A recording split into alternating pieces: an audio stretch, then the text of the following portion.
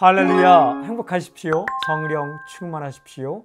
오늘 묵상 본문은 열왕기하 19장 29절부터 37절까지 말씀입니다. 그 가운데 31절 말씀. 남은 자는 예루살렘에서부터 나올 것이요. 피하는 자는 시온 산에서부터 나오리니 여호와의 열심히 이 일을 이루리라 하셨나이다 하니라. 방금 읽은 구절은요. 이사야 선자를 통하여 아, 남주다 왕 히스기야에게 주신 말씀입니다. 이 말씀하시죠. 남은 자는 예루살렘에서 나올 것이요 피하는 자는 시온 산에서부터 나오리니 남은 자가 있을 것이다. 피하는 자가 있을 것이다. 아, 무슨 말입니까? 어, 남유다가 아스르 왕 사네립의 공격 때문에 무너지지 않을 것이다. 남게 될 것이다. 피하게 될 것이다. 어디에서 나온다고요? 예루살렘에서 나올 것이고 시온산에 나올 것이다. 예루살렘은 남유다의 수도입니다. 시온산은 예루살렘을 가리키는 거죠.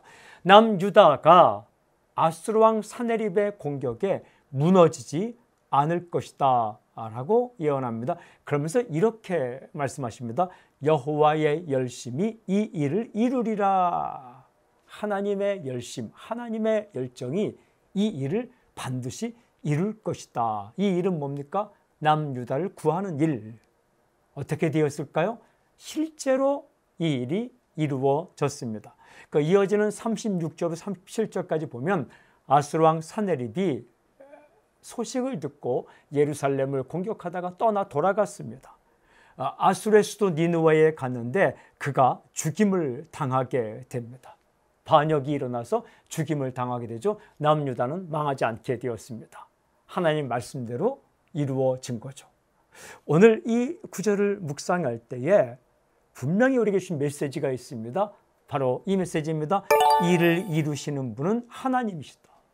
일을 이루시는 분은 하나님이시다. 그렇습니다.